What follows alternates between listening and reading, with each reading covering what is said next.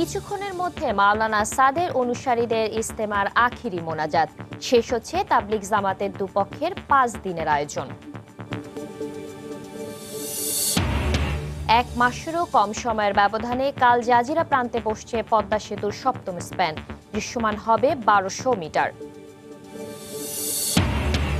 বাংলাদেশের জন্য উন্মুক্ত হচ্ছে সংযুক্ত আরব আমিরাতের শ্রমবাজার।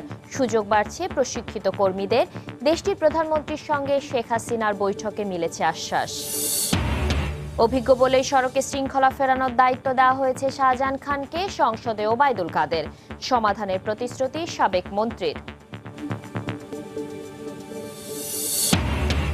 এবং ক্যান্সারেরও নকল ওষুধ বিক্রি হচ্ছে বাজারে। রাজধানীতে অভিযানে কোটি টাকারও বেশি মূল্যের মেয়াদোত্তীর্ণ ও বিক্রয় নিষিদ্ধ সরকারি ওষুধ জব্দ, আটক তিন।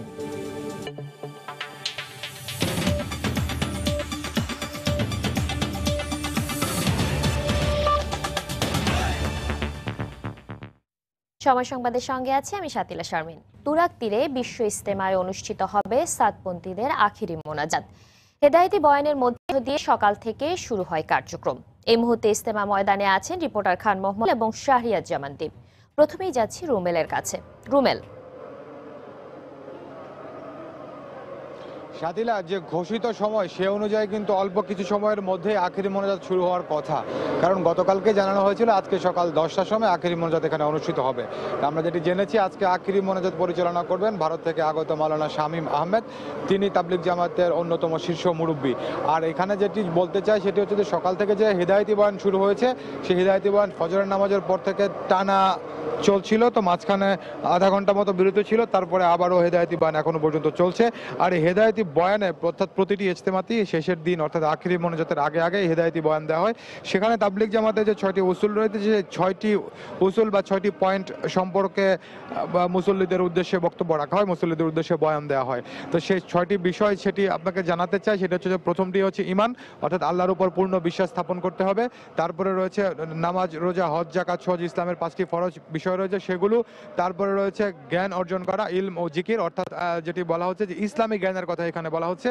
এবং জিকিরের কথা তারা যেটি বলছেন যে কোরআন তেলাওয়াত হচ্ছে সবচেয়ে বড় জিকির, তারপরে রয়েছে আপনার সহি নিয়ত, অর্থাৎ যে কোনো ইবাদত বন্দীগীর জন্য আল্লাহর নৈকট্য লাভের জন্য শুদ্ধভাবে নিয়ত করা। তারপরে রয়েছে ইকরামুল মুসলিমিন। ইকরামুল মুসলিমিন শব্দের অর্থ হচ্ছে একজন মুসলমান আরেকজন মুসলমানকে সহযোগিতা করবে, পরস্পরকে তারা সাহায্য করবে। সে বিষয়গুলো রয়েছে। এরপরে রয়েছে আপনার যে দাওয়াত বা তাবলিক অর্থাৎ সবশেষ বিষয়টি, যে দাওয়াত হচ্ছে ইসলামের দাওয়াত, ইসলামের বাণী বিভিন্ন জায়গায় পৌঁছে দেওয়া, ইসলামের দিকে মানুষকে আহ্বান করা। এই ছয়টি বিষয়ের উপরে এখানে বক্তব্য দেওয়া হয়। এবং এই বক্তব্য শেষ করে আমরা দেখি যে সেই মোনাজাত সেটি অনুষ্ঠিত হয়, তো আজকেও আমরা সেই একই রকম প্রক্রিয়াতে আখেরি মোনাজাতটি অনুষ্ঠিত হবে, সেটি আপনাকে বলতে পারি। তবে যেহেতু সকাল দশটা বাজে সকাল দশটা বাজে সময় দেওয়া হয়েছিল, তো দশটা মাত্রই বেজেছে, তো আমরা যেটি ধারণা করছি, হয়তো খুব বেশি সময় আর লাগবে না, অল্প কিছু সময়ের মধ্যে আখেরি মোনাজাত অনুষ্ঠিত হতে পারে। তো প্রথম পর্বের অভিজ্ঞতা থেকে আপনাকে যদি বলি যে, প্রথম পর- পর্বে আমরা দেখেছিলাম যে সকাল সাড়ে দশটায় আখেরি মোনাজাতের সময় দেওয়া হয়েছিল, তো দশটা চল্লিশ বিয়াল্লিশের দিকে মোনাজাত শুরু হয়েছিল। তো আজকে হয়তো এরকম দশ পনেরো মিনিট এদিক সেদিক হতে পারে, তো আমরা অপেক্ষা করছি। আখেরি মোনাজাত যদি শুরু হয়, সঙ্গে সঙ্গে আপনাদেরকে আমরা সেটি দেখানোর চেষ্টা করব। আর এই মুহূর্তে ইস্তেমা মাঠের অপর প্রান্তে টঙ্গী স্টেশন রোড এলাকায় আছেন আমাদের সহকর্মী শাহরিয়ার জামান দ্বীপ। সেখানকার খবর খবর জানতে চলে যাচ্ছি তার কাছে।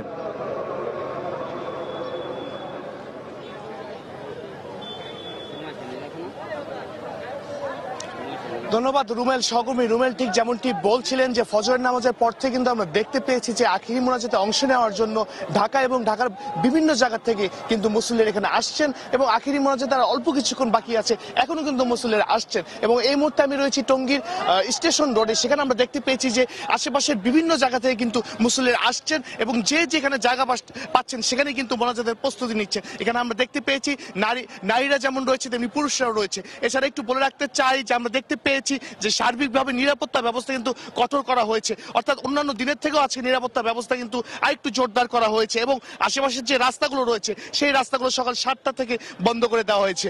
এখানকার প্রশাসনের পক্ষ থেকে যেটি আমাদেরকে বলা হয়েছে যে এয়ারপোর্ট হয়ে এয়ারপোর্ট হয়ে উত্তরা হয়ে আবদুল্লাপুর হয়ে টঙ্গী থেকে গাজীপুর পর্যন্ত যে রাস্তাটি রয়েছে, সে রাস্তাটি এই ইস্তেমার মোনাজাতের জন্য বন্ধ করে দেওয়া হয়েছে। মোনাজাত শেষে সেটি খুলে দেওয়া হবে। এছাড়া একটু জানিয়ে রাখতে চাই, আমরা দেখতে পেয়েছি যে সকাল থেকে যে বিশেষ ট্রেনগুলো রয়েছে ইস্তেমা উপলক্ষে, সেই ট্রেনগুলো দিয়েও কিন্তু অনেকে আসছেন। এবং তারা যেটি বলছেন যে অনেক কষ্ট করে তারা এখানে আসলেও এই আল্লাহর নৈকট্য লাভের জন্য এবং আখিরি মোনাজাতে অংশ গ্রহণ করতে পারাটাই তাদের জন্য আল্লাহর কাছে বিশেষভাবে তারা কৃতজ্ঞতা জানিয়েছেন। এছাড়া একটু জানিয়ে রাখতে চাই যে এখানকার যারা ইস্তেমা কর্তৃপক্ষ রয়েছে, অর্থাৎ দ্বিতীয় পর্ব যারা পরিচালনা করছে, সাতপন্থীরা, তারা আমাদেরকে যেটি জানিয়েছেন যে ভারতের মাওলানা শামীম, তিনি আজকে আখিরি মোনাজাত পরিচালনা করবেন। এবং যতটুকু আমরা জানতে পেরেছি যে অল্প কিছুক্ষণের মধ্যেই এই আখিরি মোনাজাত অনুষ্ঠিত হওয়ার কথা রয়েছে এবং আখিরি মোনাজাতকে কেন্দ্র করে আমরা যেটি দেখতে পেয়েছি যে শুধু ইস্তেমা মাঠ নয় ইস্তেমা মাঠের আশেপাশে যে জায়গাগুলো রয়েছে, সেই জায়গায় কিন্তু মুসলিমদের প্রচণ্ড ভিড় রয়েছে এবং এখনও বিভিন্ন জায়গা থেকে কিন্তু মুসল্লিরা আসছেন। তো এখান থেকে আসলে সর্বশেষ যে তথ্য আমি দিতে পারি যে চুয়ান্নতম বিশ্ব ইস্তেমার আজকে তৃতীয় দিন চলছে এবং আখিরি মহাজতের মধ্য দিয়ে কিন্তু আজকে এই চুয়ান্নতম বিশ্ব ইস্তেমা শেষ হবে। তো সাথে এখান থেকে আসলে আমার কাছে সর্বশেষ যেটি তথ্য রয়েছে যে এখানে যারা রয়েছেন মুসল্লিরা, তারা শেষ মুহূর্তে আখিরি মহাজতের প্রস্তুতি নিচ্ছেন। সাদিলা। সাতপন্থীদের মোনাজাতের মধ্যে দিয়ে শেষ হচ্ছে পাঁচ দিনের বিশ্ব ইস্তেমা। সেই খবর জানাতে আমাদের সাথে যোগ দিয়েছিলেন সহকর্মী শাহরিয়ার জামান দ্বীপ এবং এর আগে খান মোহাম্মদ রুমেল। সময় সংবাদে আরও থাকছে। হাজারিবাগে ট্যানারি সচল সাভারেও রয়েছে প্লট। প্রভাবশালীদের এই অনিয়মে ক্ষতিগ্রস্ত শিল্প বলছে ট্যানার্স অ্যাসোসিয়েশন। সত্যি হলে বরাদ্দ বাতিল বললেন প্রতিমন্ত্রী। সংযুক্ত আরব আমিরাতে শ্রমবাজার বাংলাদেশের জন্য উন্মুক্ত হচ্ছে বলে জানিয়েছেন পররাষ্ট্রমন্ত্রী ডক্টর এ কে আব্দুল মোমেন। আরব আমিরাতের প্রধানমন্ত্রীর সঙ্গে প্রধানমন্ত্রী শেখ হাসিনার দ্বিপক্ষীয় বৈঠকে এমন আশ্বাস মিলেছে বলে জানান তিনি। স্থানীয় সময় গতকাল দুপুরে সংযুক্ত আরব আমিরাতের ভাইস প্রেসিডেন্ট ও প্রধানমন্ত্রী শেখ মোহাম্মদ বিন রশিদ আল মাকতুমের সঙ্গে বৈঠক করেন দেশটিতে সফররত প্রধানমন্ত্রী শেখ হাসিনা। বাংলাদেশ প্রতিনিধি দলের সদস্য সহ প্রধানমন্ত্রীর মেয়ে সাইমা ওয়াজেদ হোসেনও বৈঠকে উপস্থিত ছিলেন। পরে রাজপরিবারের সদস্যদের সঙ্গেও সৌজন্য সাক্ষাৎ করেন প্রধানমন্ত্রী শেখ হাসিনা।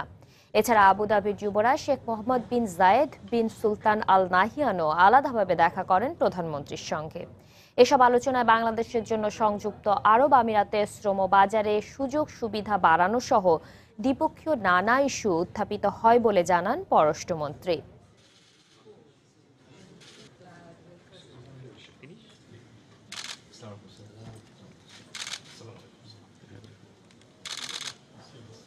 নেত্রী চেয়েছেন যে আমাদের যে ওয়ার্কার্স আছে তাদের কাজ করার সুযোগ দেওয়া। বলেছেন যে আমাদের ওয়ার্কাররা খুব hard working and highly intelligent সুলতান সেটা খলিফা সেটা স্বীকার করেছেন। বলছেন যে হ্যাঁ তারা সবাই স্বীকার করেছেন। আর বলছেন যে আপনাদের দুয়ার খোলা। আমরা বলছি শুধু লেবার না, আমাদের প্রফেশনাল আছে। সতেরো ধরনের ক্যাটাগরির লোক আছে। বলছেন অল ডান দুই হাজার একুশ সালে আমরা উচ্চ মধ্য আয়ের দেশ হতে চাই, একচল্লিশ সালে আমরা উন্নত। উনি বলছেন যে রোড ম্যাপ থাকলে কমিটমেন্ট থাকলে আপনি পঁচিশ বছরের প্রোগ্রাম করেন ইয়ার উইথ ইউ আমরা আপনাদের সাথে আছি। এক মাসেরও কম সময়ের ব্যবধানে কাল জাজিরা প্রান্তে বসছে স্বপ্নের পদ্মা সেতুর সপ্তম স্প্যান। এই স্প্যান বসানোর মধ্য দিয়ে নদীর দু দুপ্রান্তে দৃশ্যমান হবে সেতুর বারোশো মিটার। পঁয়ত্রিশশো ছত্রিশ নম্বর পিলারের মধ্যে বসবে স্প্যান। সকালে নদীর মাওয়া প্রান্ত থেকে এ দুটি পিলারের দিকে রওনা হয়ে গেছে স্প্যানবাহী ক্রেনটি এসান জুয়েলের রিপোর্টে বিস্তারিত ছবি তুলেছেন সাইফুল ইসলাম। কেটে গেছে নকশা জটিলতা। শুকনো মৌসুম বলে প্রমত্তা পদ্মায় নেই তীব্র স্রোতের দাপট। সময়টা অনুকূলে, আর সেটাকে কাজে লাগিয়ে নদী জুড়ে এখন চলছে কাজ। দুই হাজার সতেরো সালের সেপ্টেম্বর মাসে প্রথম স্পেন বসানোর মধ্য দিয়ে সেতু দৃশ্যমান করার কাজ শুরু হয়। গত বছরের জুনে পঞ্চম স্পেন বসানোর মধ্য দিয়ে শেষ হয় ছয়টি পিলারের একটি মডিউলের কাজ। তার পাশেই নতুন মডিউলের প্রথম আর জাজিরা প্রান্তে ষষ্ঠ স্পেনটি বসানো হয় গত মাসের তেইশ তারিখ। এবার অপেক্ষা সপ্তম স্পেন বসানোর। মঙ্গলবার সকাল সাতটায় শুরু হয় মাওয়া ইয়ার থেকে স্পেনটি নির্ধারিত পঁয়ত্রিশ ও ছত্রিশ নম্বর পিলারের কাছে নিয়ে যাওয়ার কাজ।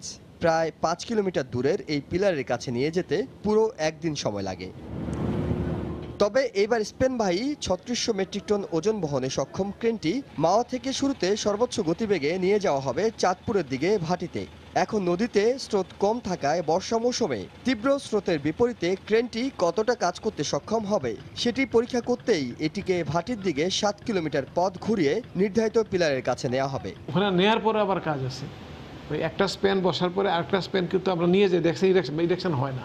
এটা আবার ওখানে ওয়েল্ডিং করতে, জোড়া দিতে এখানে আমার সময় লাগে আমার পাঁচ সাত দিন, দশ দিন ওখানে সময় লাগে।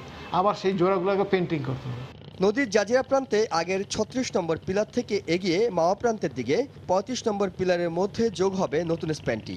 এছাড়া চৌত্রিশ নম্বর পিলারও শতভাগ প্রস্তুত করে তোলায় কিছুদিনের মধ্যে আরেকটি স্প্যান বসানো সম্ভব হবে। এর আগের স্প্যানটি বসাতে ছয় মাসেরও বেশি সময় লাগলেও এইবার স্প্যানটি বসাতে সময় লাগছে এক মাসেরও কম। নদীর জাজিরা প্রান্তে একসঙ্গে নশো মিটার আর মাওয়া প্রান্তে দেড়শো মিটার। সব মিলে বারোশো মিটার স্প্যান দৃশ্যমান করার মধ্য দিয়ে যে সাফল্য অর্জন করা হচ্ছে, তার অভিজ্ঞতা কাজে লাগিয়ে সামনের দিনের কাজগুলো আরও অনেক বেশি সহজ হবে বলে মনে করেন এখানকার প্রকৌশলীরা। এহসান জুয়েল, সময় সংবাদ, মাওয়া, মুন্সীগঞ্জ। মরণবাধী ক্যান্সার সহ বিভিন্ন রোগ নিরাময়ের নকল ঔষধে ছয় লাভ বাজার। নতুন মোড়কে বিক্রি হচ্ছে মেয়াদোত্তীর্ণ বিদেশি ওষুধও শুধু তাই নয়, সরকারি হাসপাতালে বিক্রয় নিষিদ্ধ ওষুধও মিলছে ফার্মেসিগুলোতে। গতকাল দিনভর চলা র্যাবের অভিযানে উঠে এসেছে আতকে ওঠার মতো এসব চিত্র।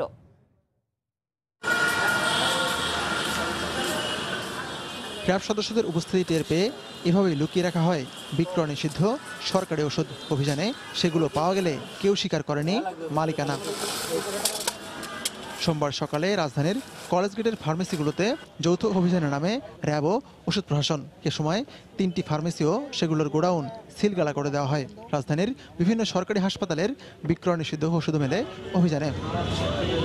শুধু তাই নয় জব্দ করা হয় ক্যান্সারের নকল ওষুধও। পঙ্গুর সামনের কিছু কিছু মানুষ আহ, আমাদের মার্কেটের সবার কাছেই বিক্রি করে। যে আমরা যে একা কিনি তারাও তাও না।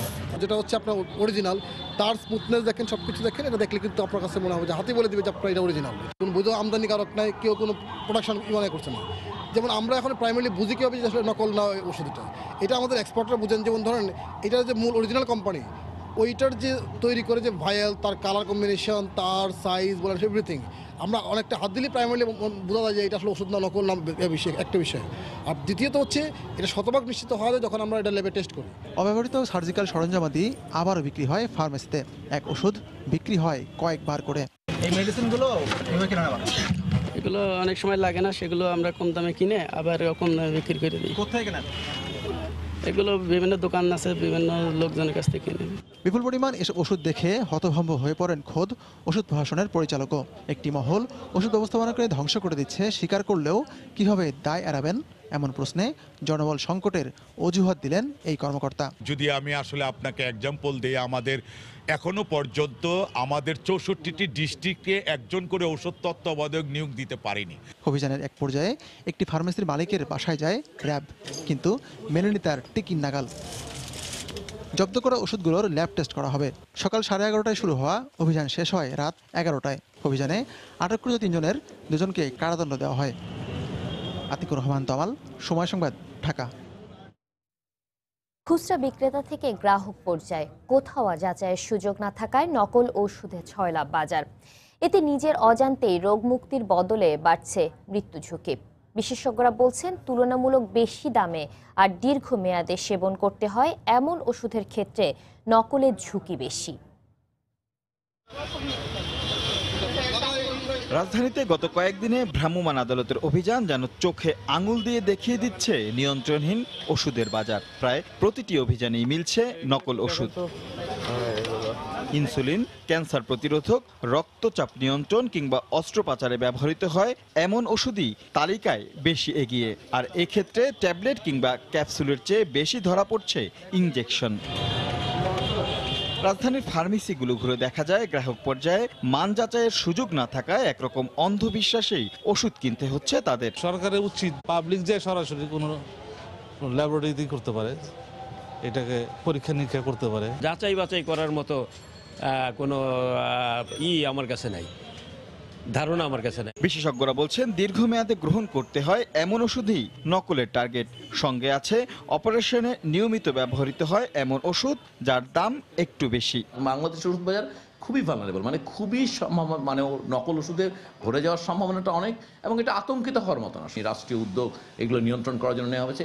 একই সঙ্গে আমাদের দিক থেকে আমরা বলব যে ডাক্তারদের আসলে সচেতন হওয়া দরকার। রোগীরও ঠিক একইভাবে এমনি ধারাবাহিকভাবে ওষুধ গ্রহণ করছেন।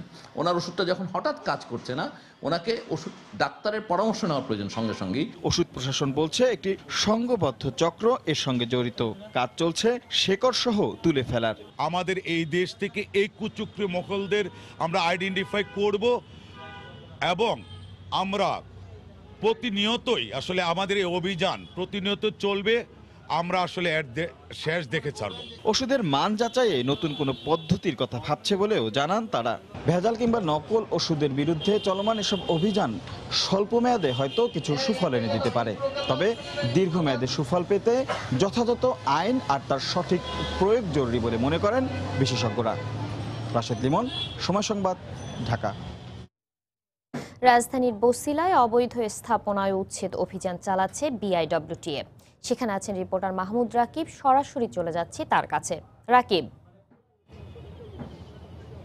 হ্যাঁ সাতিলা আপনি জানেন যে চতুর্থ দফার যে অভিযান বুড়িগঙ্গার দুই পাশ দখলমুক্ত করতে সেটি গতকাল থেকে শুরু হয়েছে। এবং গতকালের সেই অভিযানে প্রায় একশো বিশটি স্থাপনা উচ্ছেদ করা হয়েছে। তো আমরা গতকাল আপনাকে সকালে যে একটি ভবন দেখিয়েছিলাম, দশতলা ভবন আজও কিন্তু সেই ভবনটি দিয়েই এখানে অভিযান উচ্ছেদ শুরু করেছিল বিআইডব্লিউটি এবং এখানে কিন্তু আজও সেই ভবনটি নিয়ে বেশ বড়সড় জটিলতাই হয়েছিল। এবং এখানে আমরা দেখেছি আপনি দেখছেন যে ভবনটি উচ্ছেদ নিয়ে এখানে স্থানীয় জনগণ এসেছেন এবং এই যে ভবনটি দেখছেন, এই ভবনটি আমি আপনাকে গতকালই বলেছিলাম যে বুড়িগঙ্গা এবং হাইক্কা খালের যে মোহনা, সেই মোহনার মধ্যে এই ভবনটি গড়ে তোলা হয়েছে এবং এই ভবনটি গতকালকে বিএডব্লিউটি নির্বাহী ম্যাজিস্ট্রেট ভবনটি না ভাঙার নির্দেশ দিয়েছিলেন। তো সে কারণে আজ এই ভবনটি বিষয়ে ভাঙা হবে কি হবে না সেই সিদ্ধান্ত নেবার জন্য কিন্তু এখানে রাজুকের একজন জ্যেষ্ঠ নির্বাহী ম্যাজিস্ট্রেট এসেছেন এবং কিছুক্ষণ আগে তারা এই ভবনটি পুরোপুরি পরীক্ষা নিরীক্ষা করে, সব কাগজপত্র পরীক্ষা নিরীক্ষা করে এবং ভবনের মালিক তার নকশা আর এস সিএস যত ধরনের কাগজপত্র আছে সব কিছু কিন্তু পরীক্ষা নিরীক্ষা করে এই ভবনটি বিষয়ে আজ যে সিদ্ধান্ত আবারও নিয়েছেন, সেটি হলো তারা বলছেন যে এই ভবনটি রাজকের কোনো অনুমোদন নিয়ে করা হয়নি। এমনটি কিন্তু প্রমাণ পেয়েছে রাজুকের নির্বাহী ম্যাজিস্ট্রেট। এবং বিএডব্লিউটি বারবার দাবি করছে যে নদীর যে সীমানা পিলার, সেই সীমানা পিলারের একশো পঞ্চাশ যে ফুট যার মধ্যে পাকা স্থাপনা করা যায় না, ভবনটি তার মধ্যেই করা হয়েছে। তো এত সব অনিয়মের পরেও কিন্তু নির্বাহী ম্যাজিস্ট্রেট এখানে একটু আগে আমাদের গণমাধ্যমের সাথে কথা বলে যে রায়টি দিয়ে গিয়েছেন, যে এই ভবনটি ভাঙার জন্য তারা পনেরো দিন সময় দিয়ে গিয়েছেন।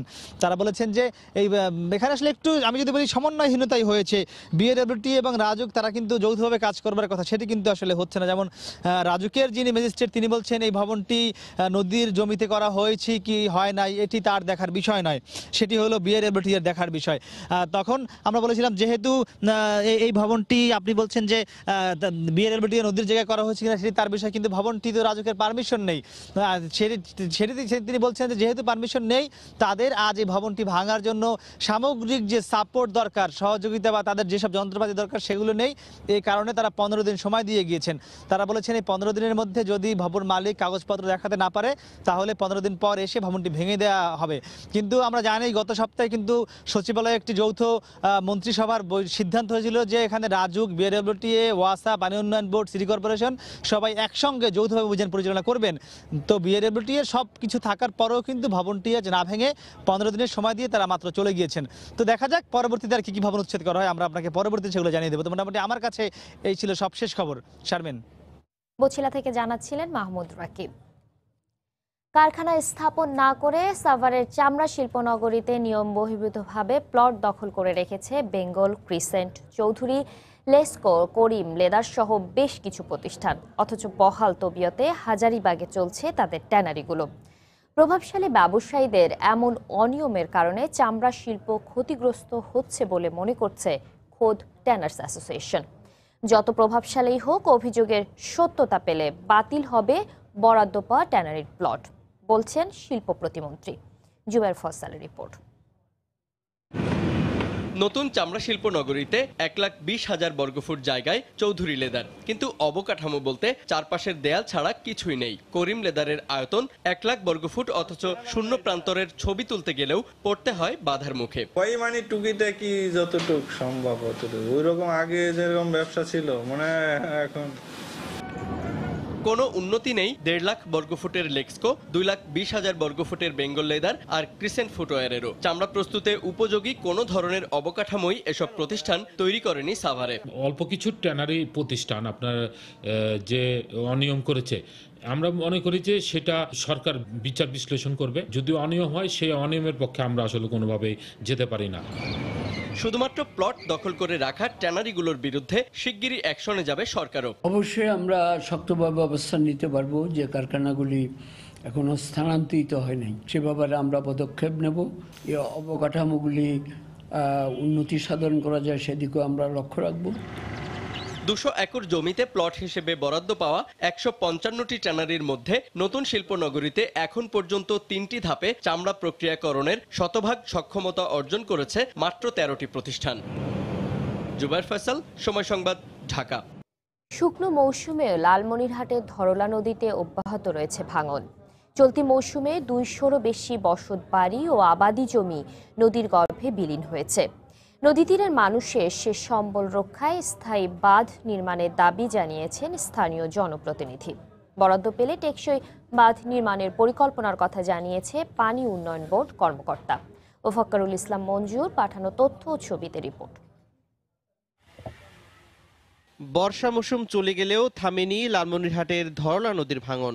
অব্যাহত ভাঙনে চলতি মৌসুমে চাওড়াটারি, দীঘলটারি, কর্ণপুর ও কুরুল গ্রামের প্রায় দুশো বসতভিটা নদীগর্ভে চলে গেছে। প্রতিনিয়ত বিলীন হচ্ছে ফসলি জমিও।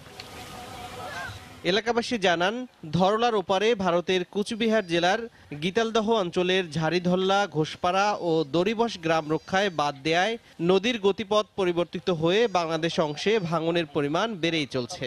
এতে চরম আতঙ্কে আছেন তারা। অনেক বাড়ি ঘর সামনে ছিল। থাকার পর মনে করো আজকে যে ভাঙচুর, কায় কুতি থাকতেছি, না থাকতেছি, এই যে ভাঙি গেটে গেটে আমরা লোকগুলি একদম অসহায় হয়ে গেছি। নদী তীরের অসহায় মানুষের দুর্দশা লাঘবে টেকসই বাঁধ নির্মাণের দাবি জানালেন স্থানীয় এই জনপ্রতিনিধি। এবারে যদি এখানে কাজ করা না হয় তাহলে মোগলহাট বাজার এবং এতদিনে যে কাজগুলো করা হয়েছে সবগুলোই আহ, হয়তো নষ্ট হয়ে যাবে। তবে বরাদ্দ পেলে স্থায়ী বাঁধ নির্মাণের আশ্বাস দেন পানি উন্নয়ন বোর্ডের এই কর্মকর্তা। অবশিষ্ট জায়গায় কাজ বাস্তবায়ন করার জন্য আমরা প্রকল্প তৈরি করছি। এই প্রকল্প অনুমোদিত হলে আমরা কাজ করতে পারব। দুর্গাপুর ও মোগলহাট ইউনিয়নের কোল ঘেঁষে বয়ে যাওয়া ধরলা নদীতে গত দেড় যুগ ধরে ভাঙন অব্যাহত রয়েছে। এতে কমপক্ষে পাঁচশো হেক্টর আবাদি জমি সহস্রাধিক বসতবাড়ি হারিয়েছেন নদী তীরবর্তী মানুষ। বিলীন হয়েছে ছয়টি আন্তর্জাতিক সীমান্ত পিলারও। সময় সংবাদ লালমনিরহাট। কুষ্টিয়ায় গুলিতে দুজন নিহত হয়েছে। পুলিশের দাবি ডাকাত দলের দুপক্ষের বন্দুকযুদ্ধে মারা গেছে তারা। ঘটনাস্থল থেকে অস্ত্র ও গুলি উদ্ধার করা হয়েছে। পুলিশ জানায়, ভোরে দৌলতপুর উপজেলার পেটকাটা দহর এলাকায় দুদল ডাকাতের মধ্যে গোলাগুলি হয়। খবর পেয়ে পুলিশের একটি দল ঘটনাস্থলে পৌঁছালে তাদের লক্ষ্য করে গুলি ছড়ে দুর্বৃত্তরা। পুলিশও পাল্টা গুলি করে। এতে মোফাজ্জল হোসেন মোফা ও মহাবুল নামে দুজন গুলিবিদ্ধ হয়। তাদের উদ্ধার করে সদর হাসপাতালে নেওয়া হলে মৃত ঘোষণা করেন চিকিৎসক। তাদের বিরুদ্ধে দৌলতপুর থানায় একাধিক মামলা রয়েছে। এ পর্যায়ে শীর্ষ সংবাদ জানিয়ে দিচ্ছে আরেকবার। কিছুক্ষণের মধ্যে মাওলানা সাদের অনুসারীদের ইস্তেমার আখিরি মোনাজাত শেষ হচ্ছে তাবলিগ জামাতের দুপক্ষের পাঁচ দিনের আয়োজন। এক মাসেরও কম সময়ের ব্যবধানে কাল বসছে জাজিরা প্রান্তে পদ্মা সেতুর সপ্তম স্প্যান। দৃশ্যমান হবে বারোশো মিটার। বাংলাদেশের জন্য উন্মুক্ত হচ্ছে সংযুক্ত আরব আমিরাতের শ্রমবাজার। সুযোগ বাড়ছে প্রশিক্ষিত কর্মীদের। দেশটির প্রধানমন্ত্রীর সঙ্গে শেখ হাসিনার বৈঠকে মিলেছে আশ্বাস। অভিজ্ঞ বলেই সড়কে শৃঙ্খলা ফেরানোর দায়িত্ব দেওয়া হয়েছে শাহজাহান খানকে সংসদে ওবায়দুল কাদের। সমাধানের প্রতিশ্রুতি সাবেক মন্ত্রীর। এবং ক্যান্সারেরও নকল ওষুধ বিক্রি হচ্ছে বাজারে। রাজধানীতে অভিযানে কোটি টাকারও বেশি মূল্যের মেয়াদ উত্তীর্ণ বিক্রয় নিষিদ্ধ সরকারি ওষুধ জব্দ, আটক তিন। এই ছিল এখনকার মতো। যে কোনো খবর পেতে ভিজিট করুন সময় নিউজ ডট টিভি। আপনার মোবাইলে সময় সংবাদ দেখতে সব খবর পেতে ডাউনলোড করুন সময় অ্যাপ। এছাড়া এইমাত্র পাওয়া খবর মোবাইলে পেতে এস এম এস করুন স্টার্ট স্পেস বিএন লিখে পাঠিয়ে দিন one six two four two নম্বরে। সঙ্গে থাকুন সময়।